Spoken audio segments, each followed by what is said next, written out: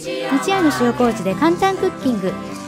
野菜に塩麹をまぶして冷蔵庫で半日以上置くと甘みのあるお漬物に魚の切り身は冷蔵庫で2時間以上置くとふっくらと焼き上がります。